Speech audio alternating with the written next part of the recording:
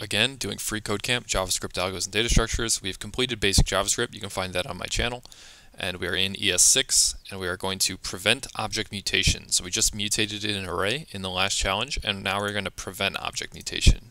Okay, so again, whenever we go through these guys, definitely read all of this, try and understand what it's what it's trying to tell you. Um, and then try and complete the challenge. If you get stuck, come back to my video, watch me do it, explain it, and then go back and try it yourself. Don't code along with this because you will not understand. You have to be able to recall these these things from memory. So in this challenge, uh, as you can see in this function here, we have a constant called math constants, and it's an object, and it has pi in here. So a reason we would do something like this is because pi is not going to change. It's a constant, and what we can do is we can create a variable with that and this is often a best practice to follow, so that whenever we access pi in any of the code, so what this does is not relevant, but whenever we access it, uh, whenever we access pi, instead of just saying, you know, 3.14, which we could incorrectly type out if we're accessing it multiple times, we can just refer to this variable. And if we misspell the variable, for example,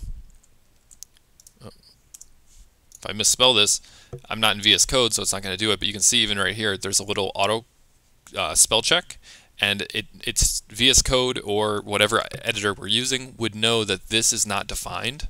This is not a valid variable because we misspelled it, and it would catch that error for us. So essentially, what I'm getting at is the reason we would create constants like this when we're doing math or uh, with Redux, the reason we do this is so that if we misspell something, the code knows what it's supposed to be because we have a constant and we're not just typing out the value over and over so that if we made a mistake typing out this 3.14 we wouldn't catch it as as stupid humans but the computer would because we're not referencing 3.14 we're referencing a constant that it knows the spelling and it knows it exists in memory.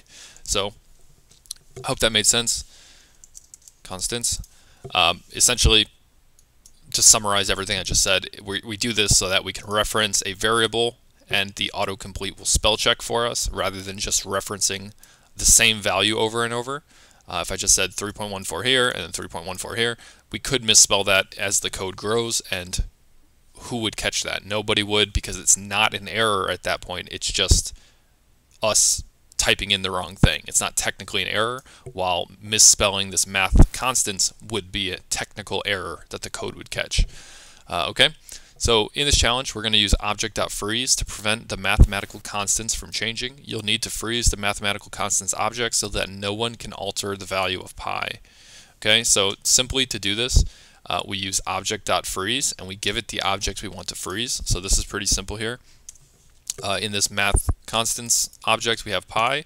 We just want to freeze this entire object. So we can just say object, capital O, because this is a type reference. So we're referencing the type of object uh, through JavaScript. So this is a built-in method. And we are going to say freeze. And then what object do we want to actually freeze? We want to freeze the math constants. So we can say math constants. And if I misspell this, you'll see once again, even though we're not in uh, VS Code, we get an undefined, we get a reference error here because we're not referencing the correct math constants. This is the exact reason why we would we would create this as a constant is so that we can see, oh, I just misspelled constants. I didn't, you know, I, I don't have to go through my entire code to find the error.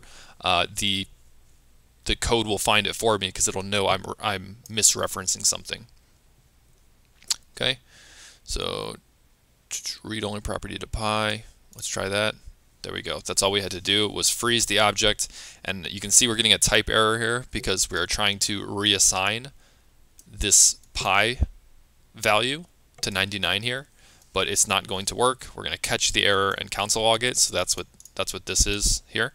Uh, and then we, we continue, right? So this object is frozen now. It is not able to be manipulated in any way. You may think, oh, it's a constant, it can't be manipulated in any way, but no, it's a constant object. We could still change this value potentially within the object um, because it's still an object. That's the constant part of it, but now it's a frozen object, so it nothing can change in it as a whole, and we'll just get this error if we try to. Okay, so hope that helped. Hope that made sense. See you guys in the next video.